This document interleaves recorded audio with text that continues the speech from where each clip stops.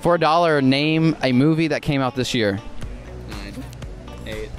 Thor: Love and Thunder. I will give that to you because the premiere was literally this week. For another dollar, name another Marvel movie that came out this year. Three. Two.